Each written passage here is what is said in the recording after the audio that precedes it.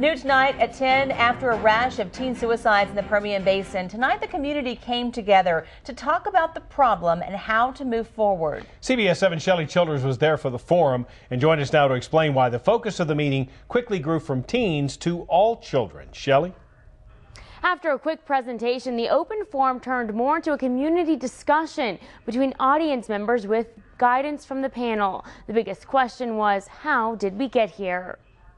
An audience of more than four dozen filled the seats of a community forum tonight, mostly made up of concerned adults like yes, Kris Murphy. I think we should have had this a long time ago. I was surprised to learn that as an elementary school teacher, Murphy is here to learn. Every year, um, I deal with kids that um, are um, suicidal or threatening suicide.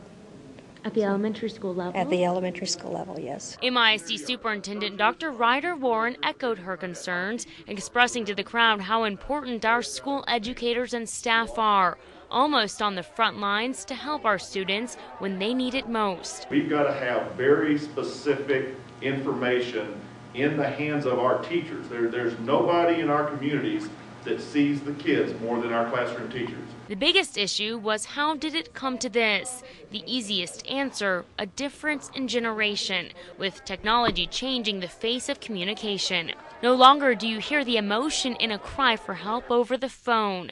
You have to read through the lines in a text, email, or status update. Because so much of it's being done electronically now, which is a shift in the paradigm that as parents and adults and older people we don't relate to as easily. You know, kids don't always have the vocabulary to express how they're feeling, and we see it a lot in their actions. It took three teen suicides in just six weeks for this community forum to happen, a price too high to pay for the lines of communication to open up. But now they are, and these adults say they're ready to talk. I think it needs to be addressed every year. Uh, parents, teachers, community, everybody.